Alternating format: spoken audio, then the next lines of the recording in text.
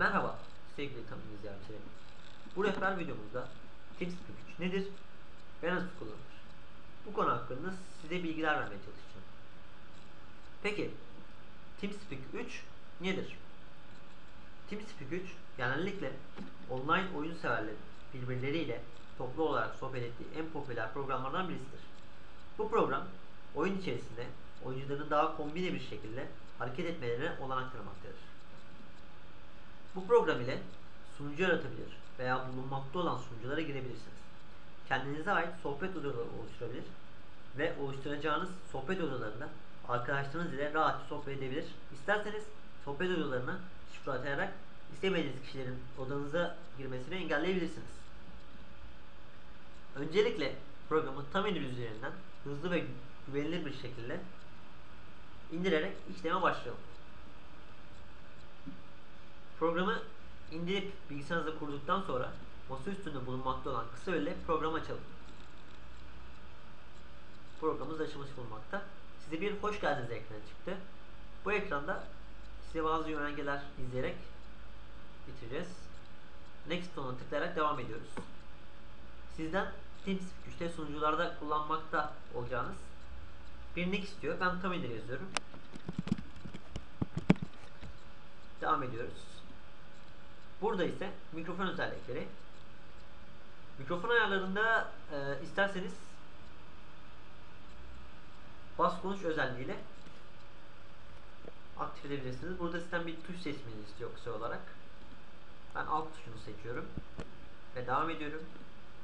Buradan mikrofondan ses gelip gelmediğini test ediyoruz. Az önce seçtiğimiz tuş olan alt tuşu ile bunu başlatıyorum. Bakın gördüğünüz gibi test olumlu sonuçlandı. Devam ediyoruz.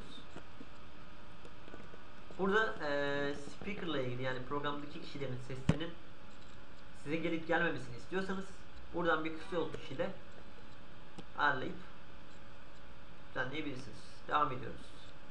Burada programdaki bot seslerinin bayan mı yoksa erkek mi olduğunu ayarlamak için yapılan bölüm. İsterseniz sesleri dinleyebilirsiniz. Devam ediyoruz. Devam ediyoruz. Ve şu anda bitti. Bunları kapatalım. Ve finish diyelim. Şu anda programın ana ekranında bulunmaktayız.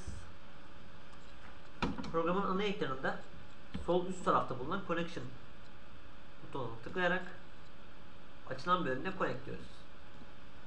Ve gördüğünüz gibi az önce seçtiğimiz nickname ve server adresi. Kendi istediğiniz sunucudaki server adresini buradan yazarak girebilirsiniz. Benim herhangi bir server adresim olmadığı için ben direkt TeamSpeak 3'ün kendi serverına giriyorum. Şu anda girdim. Hemen aşağı bir oda oluşturalım.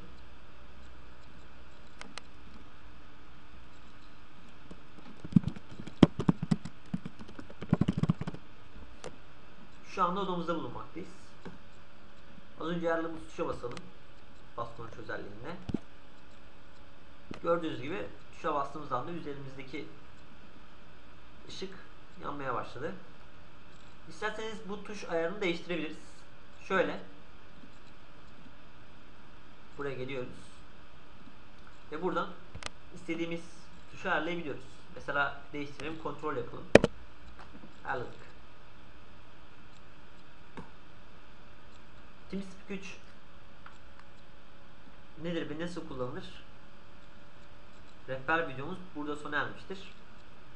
İzlediğiniz için teşekkür ederiz.